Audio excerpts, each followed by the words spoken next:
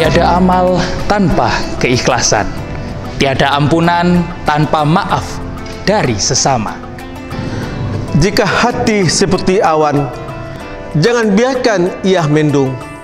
Jika hati seindah bulan, hiasi dengan senyuman. Kami, segenap keluarga besar PT Garam Persero Dan keluarga besar PT Kurnia Garam Sejahtera mengucapkan selamat berbuka puasa. Mohon maaf lahir dan batin.